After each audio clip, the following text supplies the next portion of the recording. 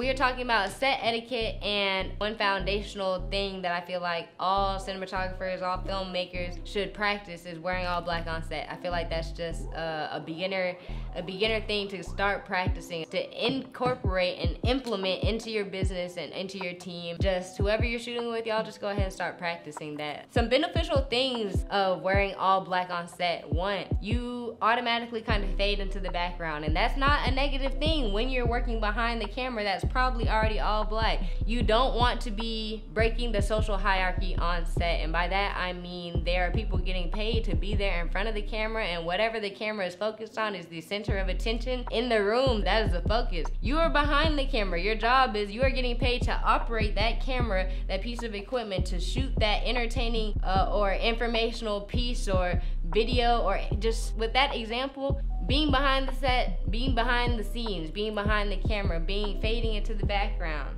when you're on set. Even if your job is the director, still I believe you should wear all black because that's just a basics. That's something that the whole team should be doing. So set the standard, lead by example, wear all black. If you yourself are just a shooter that just is out here and every now and then you shoot with a couple people, when you shoot with those couple people, make sure y'all all wear all black. And when you're by yourself, make sure you wear all black because the people that actually know how things usually go on professional sets, if you show up somewhere, not only are you setting the standard for yourself, you're already feeling into a standard that uh, all filmmakers, all professional filmmakers generally follow when they're on set. All black is the basic, or if not, just darks, navy blue, all that, but not not really navy. Navy blue and black. That's really like the basics. Today I actually worked on set. I wore this jacket and this bag, but as you see, my underneath down to the core outfit was all black. Like I said, the color black, you're just fading back a little more. You don't want to be uh, drawing too much attention to yourself. You want to play your role on set. And there's nothing wrong with that just understanding what being behind the scenes means understanding that you don't have to be wearing the loudest thing. You don't have to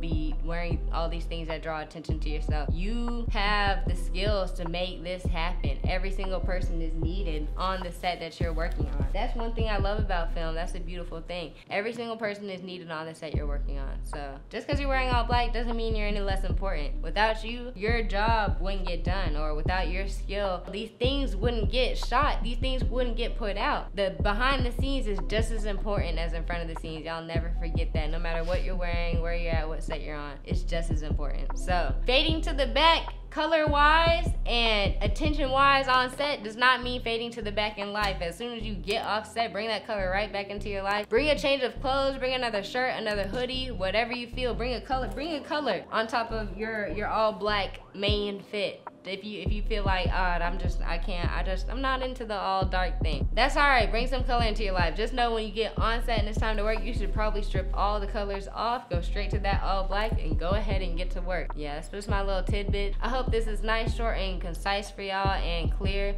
If y'all have any questions or want any type of answers or any information from me go ahead and drop that below in the comments. Let me know. Um, thank you so much for taking the time to get all the way to this point. Like and subscribe if you haven't already. Uh, so yeah, I appreciate y'all. Same Bria with Upside Down A again, and see you next time.